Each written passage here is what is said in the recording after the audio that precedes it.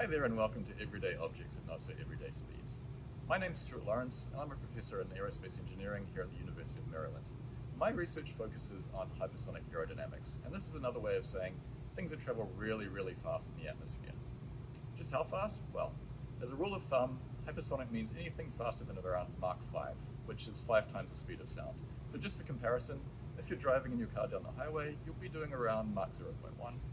Um, if you're in an airliner, say crossing the ocean, you might be hitting around Mach 0.85 or so. And the fastest fighter jets in the Air Force, they can reach Mach 2.5 roughly. So that means a hypersonic vehicle will be traveling twice as fast as the fastest fighter jet, which is pretty fast. So in this series, what we're going to be doing is we're going to be taking normal looking everyday objects and seeing how they behave at hypersonic speeds. So what we're looking for is suggestions from you, our audience. So if you have a suggestion for an everyday object, um, please send it to hypersonicEverydayObjects at gmail.com and tell us why you think this object will be interesting. And every couple of months or so, we'll be taking one of your suggestions, we'll make a model out of it using our 3D printer, and we'll be flying it in our um, hypersonic wind tunnel over here. And we especially encourage suggestions from our younger viewers out there. So for this, our first episode, um, our everyday object is going to be this little guy here, Terpy. So Terpy is a scaled down replica of the diamondback terrapin statue you can find sitting outside the main library at the University of Maryland. Terrapins are pretty good swimmers, but today we're going to be finding out just how well they can fly at hypersonic speeds.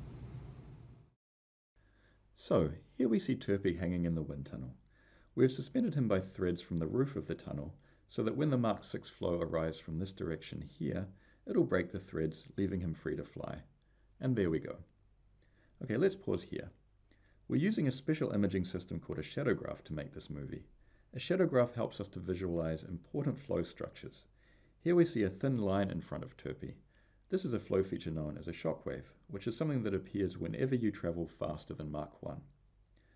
Now, we see that as Terpy moves back in the test section, he starts to rotate a little bit, but after a while he seems to find a nice configuration that he can fly stably in. So not bad at all for a little terrapin. Okay, let's play that one more time.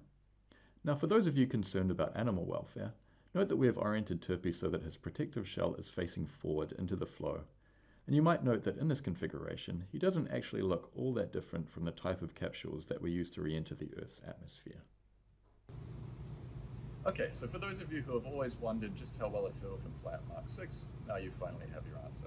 If you have a better suggestion for something you'd like to see flying hypersonically, please email it to us at hypersonicEverydayObjects at gmail.com and don't forget to tell us why you think it would be interesting. So thanks for watching, and until next time.